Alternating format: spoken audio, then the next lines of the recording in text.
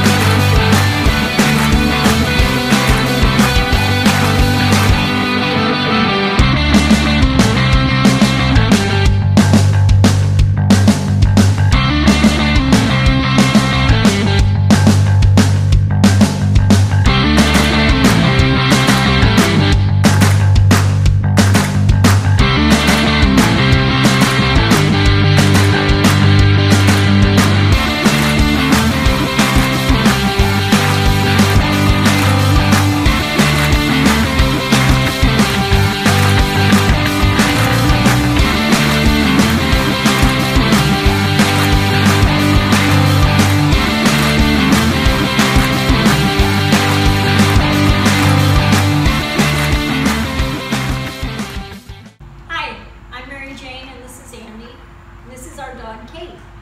And we want to thank Bill and Off Leash Canine for doing such a great job with training Kate for us. Great. Well, we appreciate Kate. We're going to miss you a lot, and we'll see you soon. Merry Merry Christmas, Happy Holidays to y'all, and we'll see you soon. Merry, Merry Christmas, Christmas, Happy Holidays. Thanks, guys.